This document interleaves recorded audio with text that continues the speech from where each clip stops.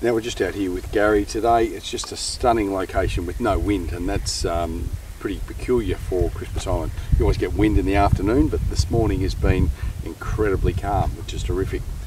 Uh, there's a couple of different ways to get to Christmas Island. It's generally for Australians is via Fiji, uh, and you get the connecting flight, or from the uh, Northern Hemisphere via Honolulu. There's one flight in and out a week, uh, and it's an incredible place to spend uh, like a week fly fishing for, for bonefish, trevally, and then you can duck outside and get tuna, sailfish, you've got the whole works here. So it's a, it's a place that if you're a fly fisherman, you've just got to come and enjoy.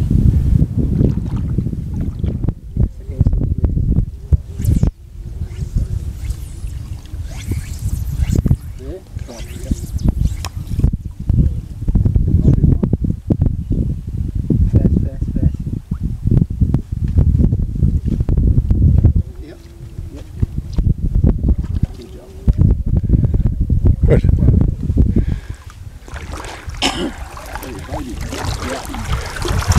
They will count, mate. Sizes and everything. Just a wee one.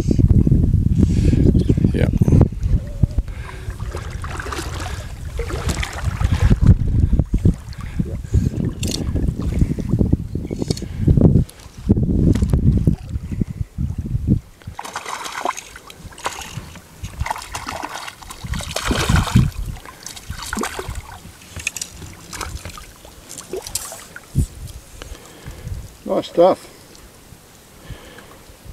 Thank you, bonefish. You?